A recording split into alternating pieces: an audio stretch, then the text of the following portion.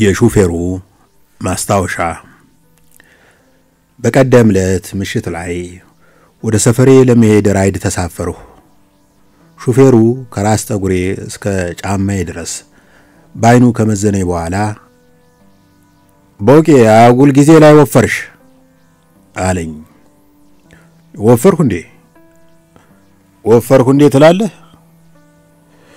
ስጋ ቤቶች በር ላይ የሚሳለውን የፕሮሞሽን በሬ ይመስላል እኮ።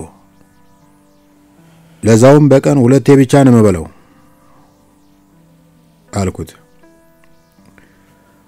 በዚህ ጊዜ በቀን ሁለቴ የምትበላው ከየት አምጥተህ ነው? ፈገግ አልኩና ኑሮ እንዴት ነው አልኩት፣ ትኩረቱን ከኔ ለማስቀየስ ብዬ። ኑሮ ከእጅ ወደ አፋፍ ነው እባክህ።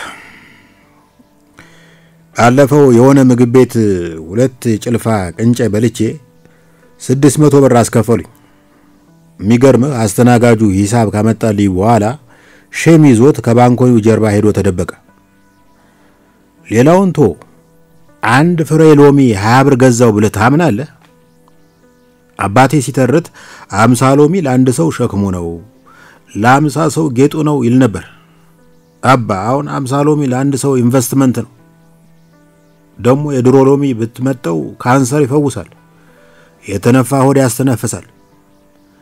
የጥምቀት ቀን ብትወረውረው ሚስት ያመጣልሃል። የዘንድሮ ሎሚ በውድ ገዝተህም ብትጨምቀው እንደ ወንድ ጡት ነው፣ ጠብ የሚል ነገር የለውም። ይገርማል አልኩት። በጣም በጣም በጣም ሰው ደግሞ ኑሮ ነው መሰል ወደ ባሻ ሆኗል። አንድ ጓደኛ አለኝ የደከመች ላዳ ከዛች ትንሽ መኪና ውስጥ የሚወጣውን ጭስ ብታየው ይሄ አየር ላይ ያለው ኮርኔስ ምን ነበር ስሙ? ኦዞን ኦዞን ኦዞን መሸንቆር ብቻ ሳይሆን ኦዞን ይገነጥላል። እሱ መኪናዋን ባስነሳ ቁጥር የእኛ ሰፈር የተቃጠለ ከተማ ነው የሚመስለው። እና ይሄ ጓደኛዬ የታክሲው ግንባር ላይ ባርክልኝ የሚል ጥቅስ ለጥፎባታል። አንድ ቀን ጠጋ አልሁና ስማ ባርክልኝ ከማለት ተካልኝ ማለት አይሻልም አልኩት። አሁን ያስከፋል በሞቴ። በጣም ስለደበረው በአንዴ ስራና ሰፈር ቀየረ። ትንሽ እንደተጓጓዝን ሾፌሩ ወጉን ቀጠለ። ከተማው እንደምታየው እየታደሰ ነው። መዲናይቱ ሽብርቅ ብላ የስዕለት ጃንጥላ መስላለች። ነዋሪውን ደግሞ ስትሾፈው እንደ ዜሮ አምፖል ፍዝዝ ብሏል። ከተማይቱን እንዲህ በምሽት ስታያት የክሪስማስ ዛፍ ታስንቃለች። ግን ቤት ለቤት ስትገባ መብራትና ውሃ የለም። ዘንድሮ መብራትና ውሃ የጎዳና ተዳዳሪ ሆነዋል ማለት ይቻላል። ትናንት ይገርማል፣ መብራት ከሁለት ቀን በኋላ መጣ። የሰፈሩ ልጆች ብለው በደስታ ጮሁ። ቶማስ ኤዲሰን ራሱ የኤሌክትሪክ ምስጢር የተገለጠለት ጊዜ ልጆቹ ይህን ያህል ተደስተው አልጮሁም። ሾፌሩ በራሱ ጭውት ከሳቀ በኋላ ቀጠለ። ባለፈው ወቅስ አደርግ አንዱ ደንብ በሳይክል መንገድ ላይ ተራምደሃል ብሎ ሊቀጣይ ተጋበዘ። ግድ የለም ዛሬ እንደ ሳይክል ቁጠረኝ ብለው ሊሰማኝ ነው። ገንዘብ መክፈል ካልቻልሁ አማራጩ ቅጣት ምንድን ነው ስለው ገንዘብ መክፈል ካልቻልህ አንድ አጠር ያለ አስፋልት ትጠርግና ለመራቂ ያክል ደግሞ ሁለት አደባባይ ታጥባለህ አለኝ። ከፍዬ ተገላገሉ። ባለፈው ደግሞ የግብረ ኃይሉን መሪ ለምን ዘንባባ ብቻ ትተክላላችሁ? በየጣለቃው ዝግባና ቀረሮ ነገር ጣል ጣል አድርጉበት እንጂ የሚል አስተያየት በቅንነት ለገስኩት። አንተ በዚህ ትገረማለህ። ከፈለግን የዘንባባ ማርነሽ የሚለውን ዘፈን ብሔራዊ መዝሙር እናደርገዋለን የሚል ምላሽ አጎናጽፎ ፊት ነሳኝ። ከጥቂት ቀናት በፊት አንዱ መንገድ ዳር ላይ በተተከለው ሳር ላይ አንድ የጋሪ ፈረስና አንድ የወፍጮ ቤት አህያ አሰማርቶ ሲያስገጥ የሆነ ደንብ ያዘው። ለምን እንዲህ አደረግክ ይለዋል። አይ ለክፋት አይደለም፣ ሳሩ artificial ነው ወይስ የእግዜር ነው የሚለውን ለማረጋገጥ ፈልጌ ነው የሚል ምላሽ ሰጠ። ከተማውን አረንጓዴ ማድረጋቸው የሌለን የተመቸኝ፣ ግን ይሄ በየቦታው አግዳሚ ወንበር የሚያስቀምጡት ነገር ትክክል አይመስለኝም። ይህ ትውልድ እንደምታውቀው ተግቶ መቀመጥ ይወዳል። በተቃራኒው አባቶቻችንና እናቶቻችን እንደ ዘላን ናቸው። ዙረት ነፍሳቸው ነው። መሄድ ይወዳሉ። በአማርኛ ቋንቋ ውስጥ ከመሄድ ጋር የተገናኙ ቃላት ነፍ ናቸው። ስራ አስኪያጅ የሚለውን ቃል ውሰድ። አባቶቻችን ስራ የሚሄድ ነገር ነው ብለው ያምናሉ። አመንዝራ ሰው ራሱ ያያጅ ይባላል። ፓርላማ ውስጥ የንግግር ስነ ስርዓት አካሄድ ነው የሚባለው። ቤታቸውን ዞሮ መግቢያዬ ነው የሚሉት። ተጎልቶ ውሎ መግቢያዬ አላሉትም። ተፈላሰፍክ አትበለኝ እንጂ መኖር ራሱ መንቀሳቀስ ነው። ሐዋርያው ጳውሎስ በሞቱ ዋዜማ ሩጫዬን ጨርሻለሁ አለ እንጂ ቁጭታዬን ጨርሻለሁ አላለም። የእኛ ትውልድ ግን መቀመጥ እንወዳለን። በዚህ የመቀመጥ ባህላችን ላይ ስማርትፎንና በሰዓት የማይከፈልበት አግዳሚ ወንበር ተጨምሮበት አስበው። ባለፈው እዚህ አዲስ የተሰራው የእግረኛ መንገድ ዳር የማይተዋወቁ ሰዎች ተጨናንቀው ተቀምጠው አግዳሚ ወንበሩን የህንድ ባቡር አስመስለውታል። የከተማዋ አስተዳደር ቀስ ብሎ ስህተት እንደፈጸመ ሲገባው ለረጅም ጊዜ የሚቀመጡ ነዋሪዎችን የሚበትን ግብረ ኃይል ማቋቋሙ አይቀርም። አለበለዚያ የአግዳሚ ወንበሩ እግር ስር ጉንዳን ማርባት ይኖርበታል። ቀጠለና እና ኑሮ እንዴት ነው አለኝ። መኖር ደግ ነው። በጦርነትና በመሬት መንሸራተት ያለቁ ወገኖቻችን ይህን እድል አለማግኘታቸው ያሳዝነኛል አልኩት። ኦ አሟረት ካትበለኝና አለው ሹፌሩ።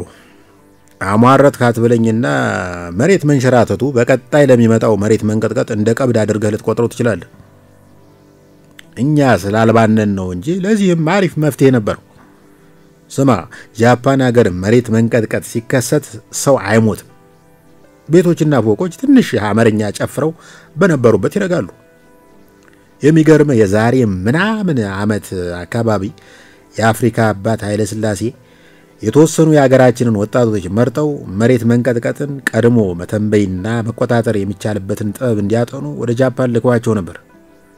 የተላኩት ወጣቶች ግን ምን ይዘው የተመለሱ ይመስልሃል? ሩቅ ምስራቅ ሳለሁ ጃፓኗን ወድጄ የሚል ዘፈን እየዘፈኑ ተመለሱ።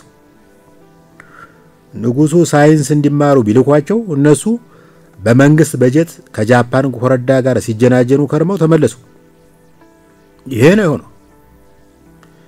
ትንሽ እንደሄድን አንድ የተጎሳቆለ ሸበቶ ሰውዬ ግድግዳ ተደግፎ የሚቆዝምበት ቦታ ደረስን። አወቀው አለ ሹፌሩ። አዎ ታሪኩን በሚዲያ ሰምቻለሁ። ፍቅረኛው ተሰናብታው ውጭ ሀገር በሄደችበት ቦታ ላይ ሀያ ዓመት ያህል ቆሞ ጠብቋታል ይላሉ አልኩት።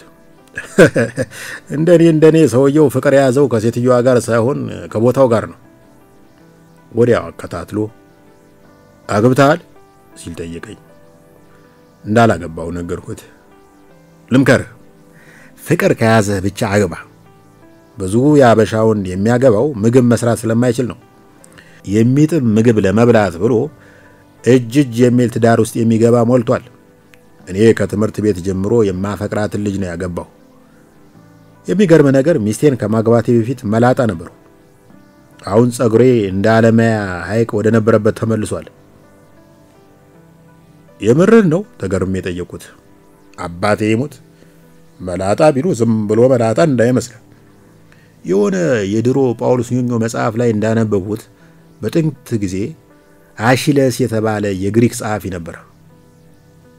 ጸሐፊ መላጣ ነው። አንድ ቀን እንደዚህ ተቀምጦ ፀሐይ ይሞቃል። ከበላዩ ደግሞ የሆነ ንስር አሞራ በመበረር ላይ ነበር።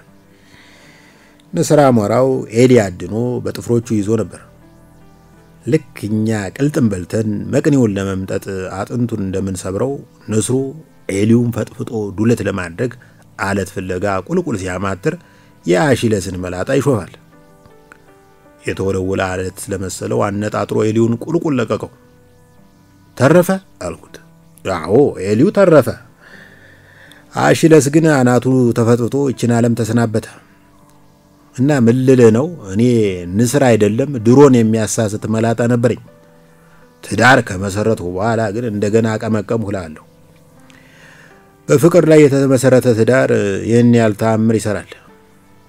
ድንገት የትራፊክ ፖሊስ አስቆመን። ምን አጠፋው ጌታዬ? አለ ሹፌሩ። ከኋላ ያለውን መብራት ጥሰሃል። ፖሊሱ ከሹፌሩ ጋር እየተከራከረ አይኑን ወደ ኋላ ሲወረውር አየኝ። በመስኮቱ በኩል ጎንበስ ብሎ በእውቀቱ ነው ወይስ ወንድሙ ነህ? በእውቀቱ ነኝ አልኩ ፈገግ ብዬ። ትራፊክ ፖሊሱ ወደ ሾፌሩ ተመለሰና በል እሱን ስለ ጫንክ ለዛሬ ምሬሃለሁ ብሎ መንጃ ፈቃዱን መለሰለት። በኩራት ደረቴን እንደነፋሁ ሰፈሬ ደረስን። ሾፌሩ ስልኩን ተመለካክቶ 252 ብር እንድከፍል ጠየቀኝ። 250 ብር ሰጥቼው ልወርድ ስል ቀሪው ሁለት ብርስ ሲል አፋጠጠኝ። ሁለት ብር cash የለኝም አልኩት። ችግር የለም አካውንቴ ልስጥና አስገባልኝ። በጣም ከመናደድ የተነሳ ለጊዜው ቃላት አፌ ላይ አመድ ሲሆኑብኝ ተሰማኝ። ከዛ እንደምንም ንዴቴን ዋጥ አድርጌ እየቀለድህ ነው ወይስ የምርህን ነው? በሂሳብ አልቀልድም አለ ሹፌሩ። ቅድም አጥፍተህ የትራፊክ ፖሊሱ የማረህ እኮ እኔ ስለተሳፈርኩ ነው አልኩት። ሾፌሩ ዘና ብሎ እንዲህ አለ። ሲጀመር አንተ ወሬ ባታስይዘኝ ኖሮ የትራፊክ መብራት ጥሻ አልሄድም ነበር።